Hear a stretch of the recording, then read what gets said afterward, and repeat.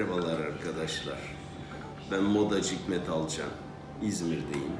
Merkezimiz İzmir ama biz Türkiye geneli patronlarla üst düzey yöneticilerin kıyafetlerini giydiren kişiyim.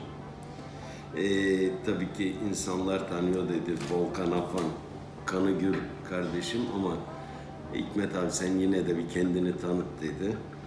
Ben ee, tabii yerlerimiz var. Devamlı kiraya veriyoruz. Ee, Volkan'ı tanıdıktan sonra ben de emlak konusunda, emlakçılık diye tabir ettiğimiz konuda farklı bir şey oluştu.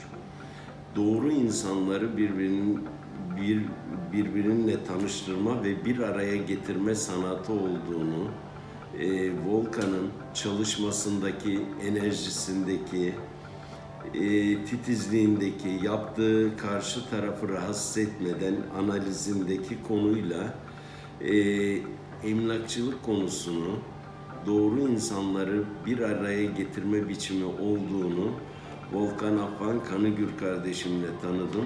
Teşekkür ediyorum Volkancığım. Sağ olasın, iyi ki varsın. Ee, inşallah çalışmamız çok uzun yıllar sürecek. Teşekkür ediyorum.